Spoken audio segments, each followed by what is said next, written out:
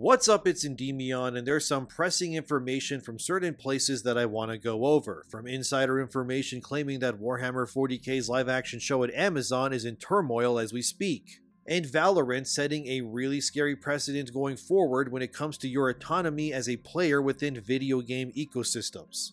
Let's just get into this Warhammer story first. This news comes from another YouTuber named the Archcast who has his own sources within Games Workshop who feeds him information and according to his sources, Warhammer 40k's live action series is currently in a lot of trouble. Back when the female Custode stuff dropped, I spoke about how Amazon has a specific AI system that's designed to filter through the complaints from their various feeds, which then allows the higher ups at Amazon to find out what the most pressing matters are according to consumer feedback. This is obviously smart of them to do, but when the female Custodes thing happened, the AI was running in overtime because of the deluge of emails and comments Amazon was getting telling them to stop what they were doing. Well, now that same AI, allegedly, according to Archcast source, is being swarmed with people telling Amazon to let Henry Cavill personally run the Warhammer franchise for them. Pretty much, customers have so little faith in Amazon as a company to do this right, they would rather anyone but them do it. Obviously, we know Amazon has had blunders in the past. Take Rings of Power, which bombed, and they obviously learned nothing but instead doubled down with Season 2. Did you know that Rings of Power has 22 producers attached to the show, and that every director of Season 2's episodes will be a woman, as if that means anything? What I just said, does that instill confidence within you? No? Well, me either, but that's what they're doing. They seem to be a company that doubles down on the things they do poorly simply because they refuse to admit when they're wrong. And we need to also realize that way back when the female Custodes thing was happening originally, we learned from Archcast source within Games Workshop that it wasn't actually Games Workshop that pushed for female Custodes, it was actually Amazon instead. The logic behind it was that they wanted to have female representation within the more popular factions. Which means when the show would inevitably happen, this version of Warhammer would very likely have not only female Custodes, but space marines too. And I would guess most people in positions of power within Warhammer will be women too, which again, if you know anything about Warhammer, it's pretty much a sausage fest of a franchise, both in fandom and lore. There are women factions, yes, like the Sisters of Silence, but we already know Amazon will hate the entire idea of that faction already, because the Sisters never speak because of the whole silence in their name and an entire faction of women who don't speak. That's like a new 9 11 crisis for woke feminist morons. So naturally, whenever those ladies join the show, they will be the sisters of shrieking, if anything. I can already see it. They make one of the main characters a butch lesbian sister of silence who refuses to stay quiet. And she advocates for women's rights to speak and voice their opinions, and then they all rise up and start talking. And then the Emperor of Mankind just drops a nuke on them and they all get obliterated in an instant. At least that would be something the Emperor would actually do anyways. The point here is that according to Arch's sources, as he further explained, Amazon is worried as hell about everything that comes with Warhammer. They're essentially in a tough spot of their own making, where on one hand, they want to make the Warhammer show a thing, but they are wrestling with the fact that they don't want to make it male focused. Essentially, they're trying to Disney Star Wars a franchise that is the antithesis of everything these activists stand for. So to say the show is currently in a chaotic mess of a spot would be an understatement. The obvious answer here would be to just make a show that is authentic to the franchise, but we know Amazon can't do that. Even in Fallout, they did stuff like erase Shady Sands and give a middle finger to New Vegas fans and they made their main character a girl who is the bestest ever at everything. Even in the Halo show, they tried to push some weird non-canon girl side main character on fans too. Honestly, this whole mess sounds like Warhammer's live action will be somewhere between Halo and Rings of Power, where it doesn't invigorate the franchise in any way and kind of just uses it as a vehicle to bring political ideology and modern day whataboutisms into the homes of people who like the franchise in its original state. But it's wild that the AI that filters Amazon's mess is struggling to even deal with the nuclear level pushback that they've been receiving. As for the tsunami of emails flooding Amazon servers from fans saying they want Henry Cavill in charge or they walk, I really doubt Amazon will listen. Of course, yes, the fans are right. Henry should be akin to the highest level filter for something like this. Any decision that goes against the lore from Amazon should have to be okayed by Henry and the other executive producers if they were smart. But we know Henry Cavill is obviously busy, and likely he gave them his wants and needs and then left the show in the hands of other writers and such, hoping that he doesn't get a repeat of The Witcher. But I think if Henry is serious about this show, he needs to grab the reins before this horse ghost hits up. Because we know Henry is capable of giving fans what they want. Remember that in The Witcher Netflix, when Roach, Geralt's horse, dies, it was supposed to be comedic, but Henry felt it was an insult to Geralt and Roach's relationship and he managed to change the showrunners and writers' minds and he instead used direct quotes from the actual books to create a very soothing and sad scene where Geralt says goodbye to his friend. And it worked, in my opinion, to this day, it's one of the best scenes in that series. So what I'm trying to say here is that when Netflix allowed Henry to have more control, The Witcher felt authentic, it felt real and respectful.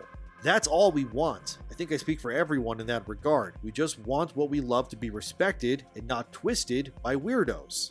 I fear the same problems that plagued Witcher will be here for Warhammer as well. And since this is Hollywood, we know that these people are full of themselves. And their egos are so big, they'd rather drive the ship into hell itself before they admit that they were ever wrong. Arch also explains that there are only two viable options forward, realistically, that could happen with this show, and neither really seems preferable. The first is Amazon rejects all the fans' ideas and pleas, and they simply take Warhammer and just turn it into Rings of Power 2.0, which honestly, I could easily see them doing this. That's what I personally think we're going to see. There is no objective way that Amazon allows this show to be its true, authentic self because that would mean they have to admit that they're wrong and the agenda pushing is a dying concept. The other scenario, which Arch believes is more likely, is that Amazon just flat out cancels the entire thing and they shelve the series for good. Why would they do that, you may be asking? Well, realistically, a Warhammer live action series would understandably be insanely expensive to do. Rings of Power was also expensive as hell, but in their benefit, that series is strictly fantasy. Rings of Power was also expensive as hell, but in their benefit, that series is strictly fantasy, so you can use real world locations aplenty, and while there is tons of CGI in Rings still, they can still use practical stuff. In Warhammer's case, it's science fiction, which is universally considered one of the most risky and expensive genres to properly convey in live action content. Look at the upcoming Star Wars The Acolyte. That show is 8 episodes long at 30 minutes apiece, and its budget is $180 million. Even slop like She Hulk cost around $200 million somehow. Don't ask me how She Hulk cost almost the same as Captain America Civil War. I don't know either. The point here is that Warhammer, if made into a show, is going to be insanely expensive if they make it right. The suits alone are going to be ridiculous, and if Amazon skimps out and makes the Space Marine armor, for example, smaller than it is in the games or books, fans will riot. Same goes for the enemies, they need to look great and not like slop. Just the scale of the 40k universe is crazy, especially considering Space Marines and such are genetically altered too, so they're huge compared to normal humans. So if Amazon wanted to convey their size appropriately, they'd have to basically do what Peter Jackson did when Aragorn speaks to Frodo and the other hobbits and make them look smaller when they're beside each other. What I'm saying is maybe Amazon is realizing now in retrospect that what they bit off here is way more than they can swallow. And they likely looked at Warhammer originally and probably went, oh, it's like a darker version of Halo or Star Wars, and they figured that they could just do that. But what they didn't realize is that 40k fans are some of the most loyal and rabid fans in the world, and for good reason. They thought they could modern audience a franchise where the fan base hates that sort of thing, and it's not working out for them. In my mind, if Warhammer were to be made, it will cost way more than Rings of Power has. Would an authentic Warhammer live action universe be amazing? Absolutely. Do I think Amazon or really any big company in the world could do it right? Not at all. If Amazon's complaint database is already overfilling to the brim and they have all of this bad will due to their push for female Adeptus Custodes already, what chance do they realistically have to turn this around? They probably can't. The only hope really is that Henry Cavill takes the reins and makes it authentic, but I don't personally believe that he has the time or support he needs from actual people tied to this project to make it happen. At best, you get a Warhammer show that takes many liberties with the IP due to the massive scale of it all in order for it to work. And at worst, you're going to get Rings of Power 40k with women in leading roles all over. And you'll absolutely see things like the Sisters of Silence immediately breaking their vows because a woman's voice is powerful, or whatever these woke institutions keep saying. But that's what we know for now when it comes to Warhammer 40k's show. It will either be horrible, or Amazon will burn everything and cancel it because they know it'll be dead on arrival. And maybe that'll be enough of a mercy because I think a decades long live action universe that destroys everything, that would honestly be horrible too. Great for content, mind you, but terrible for the actual fans. But let me know what you think about the story. Now, let's move on to this other pressing matter that is so egregious, it's honestly annoying me already the more I think about it. From thegamer.com, we have this article titled Toxic Valorant Players Will Get Hardware Bans Told to Play Something Else. So this all started when Valorant's community team came together and released this video where one of their management spoke about player toxicity and keeping the community free of that kind of behavior. I'll play a little bit of it, but if you want to see the whole thing, you can go watch it yourself on their YouTube channel, but here's some of it. Hey everyone, I'm Anna and I'm the studio head for Valorant and I'm here to chat a bit about player behavior in the game. Since launching Val, especially with the addition of voice comms, we've known that fighting in-game harassment was going to be both something we needed to prioritize and also would be one of the most challenging issues that we would face. We've been working on systems and technologies, and we actually have been making a lot of progress, but having large global player communities presents unique challenges evolving challenges. So we have to be ready and willing to re-examine things and hold ourselves accountable when things are not meeting our community's expectations. And that's exactly what we've been doing. I've spent the last couple of weeks reviewing player logs, looking at penalty escalation paths, discussing player behavior philosophies, seeing where they're working, and where we absolutely need to do better. It's not the first time I've had to do this. It will not be the last.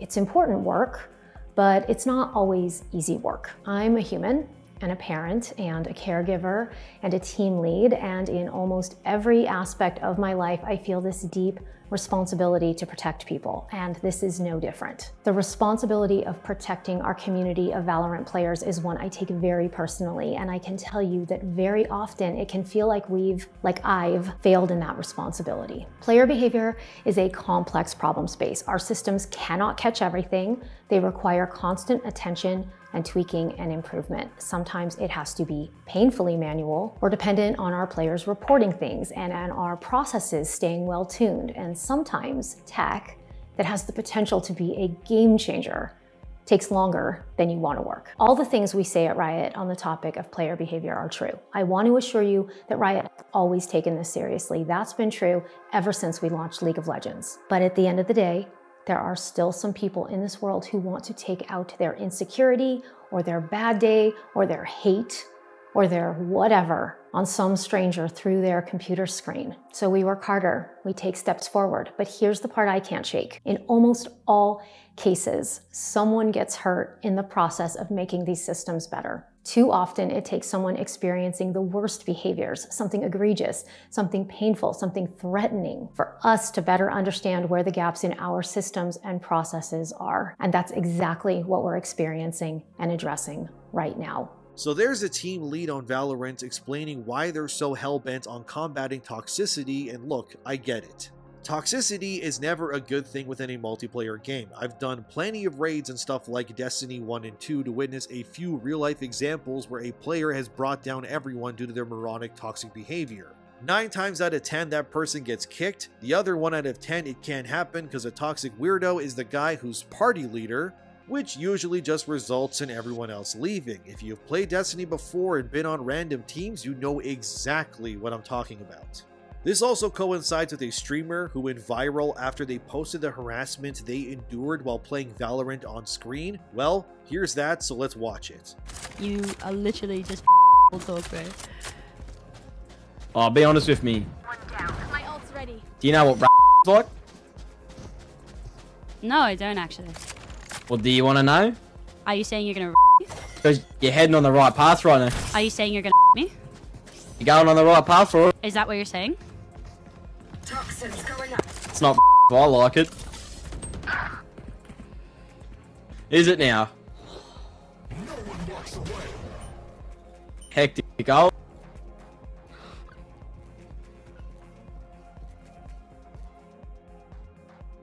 And see, in this instance, I would say what the other guy said to this streamer is bound for being banned from Valorant.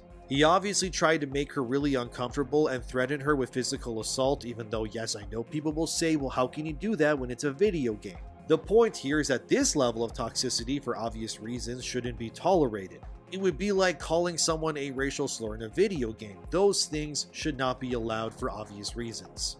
Although the line blurs when people can get reported for simply just being angry but not actually saying anything problematic. Anyway, why am I against what the Valorant team is saying here? It has nothing to do with banning people for what is very clearly things that are obvious harassment, like wishing grape on someone while playing.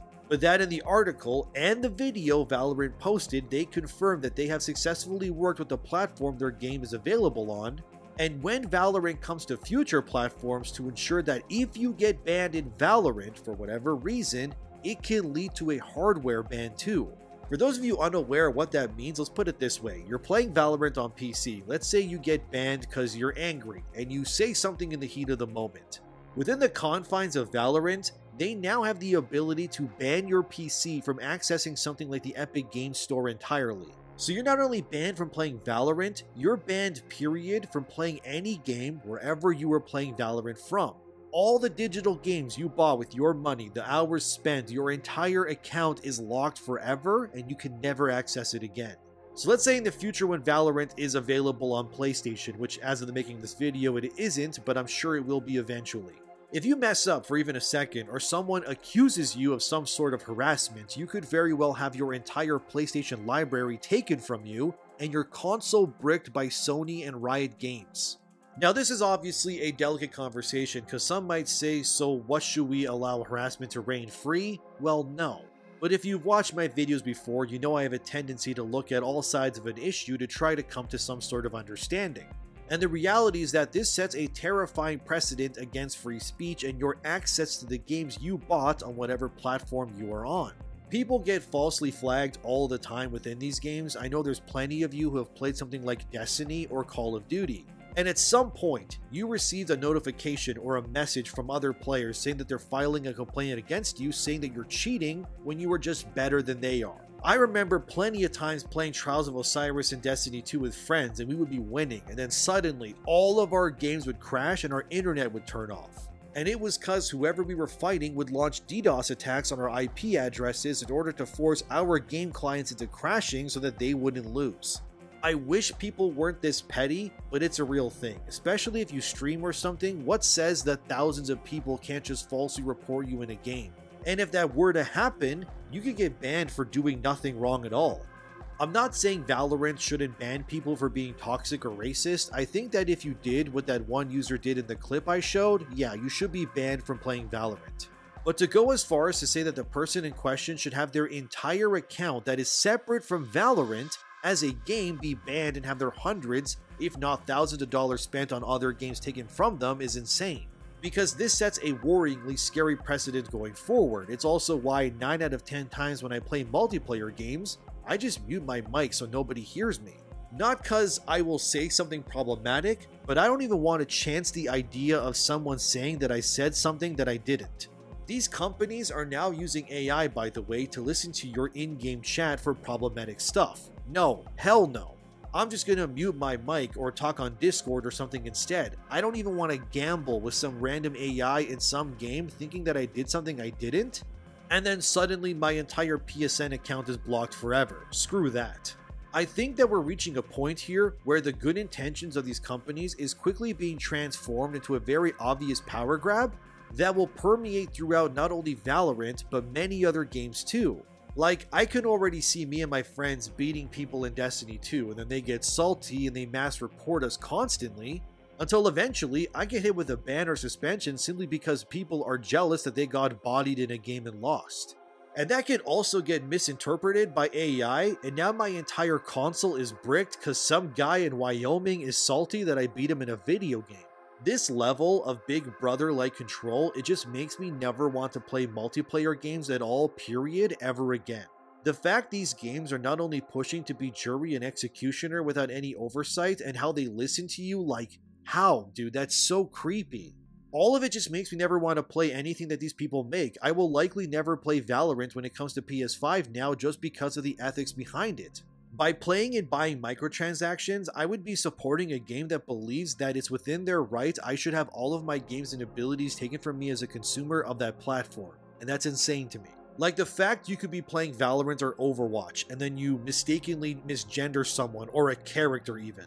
And someone on the other end just screeches and then boom, your Steam account or your PSN is now gone forever. That is just beyond the comfortable limits of what I believe these companies should have when it comes to power. None of us are above the law, I get that, but this sets a very scary status quo going forward. Eventually, it'll go beyond the platform itself and then seep into other things. Oh, you had wrong think on Twitter. Well, say goodbye to your Steam library now. You probably think that I'm being hyperbolic, and I would normally agree with you. But these days, I'm just waiting for these companies to announce it for sure going forward. You end up making an edgy joke on Facebook. Well, now your PS5 is bricked and useless. No thanks. I'm out even before I start playing your game. The massive oversight of these companies when it comes to their ability to control your access to your goods you paid for is really scary to me. Even on YouTube here, which I live off of, I need to watch what I say or how I convey stuff because any wrong move could result in deplatforming. There's enough hoops to jump through as it is for me, but I think allowing companies the ability to gain more power like this is a really bad idea. I have no problem with someone getting banned within the confines of that one singular game on their account if what they did is validated for being hate speech. But to brick your PC or eventual console is where I think this is all crossing a line for me. Of course, some will say, well, just don't be an asshole online, which is fair, but again, these bans are often wrongfully pushed, and things like AI can and will make mistakes. We see it all the time on places like Twitch, where streamers are getting banned for a week or months for almost no reason at all. How many times has Kai Cenat or others been banned from Twitch randomly at this point with no explanation at all? You really want to leave your entire game's library, account, your trophies, achievements, friend list, all of this in the hands of some AI that might make a mistake. Or some overzealous moderator who thinks they have power over you or something. Look at Discord alone. You ever ran into a mod there where they act like they have the power of Thor or something and they just start banning people? Now imagine those people being able to ban your Steam or PSN accounts because they disagree with you. This is beyond slippery, and I need people to realize that what Valorant is doing here is well past good intentions and has fully entered the realm of dystopian nonsense. Absolute power corrupts absolutely, and if people just accept this, they will keep moving the needle, and this will just keep getting worse. Any interest I had in Valorant is officially gone now. I will never play this game, even if it comes to PS5. There's no way I'm supporting a game where the developers believe that they have the right to brick my console and steal my hundreds of games from me. And the fact all it would take for that to happen is for some kid to say I said something or I did something that I didn't is insane. If you play Valorant yourself, strongly reconsider because you're playing with fire. And whether it's companies overreaching their power or ruining your favorite properties like Warhammer, as per usual, the pleas of the fans and players often fall on deaf ears. But what do you think about all of this? Let me know in the comments below. Thank you for being here. Subscribe, share, and like the video. Thanks to my patrons, and take care of yourselves. And I'll see you in the next one.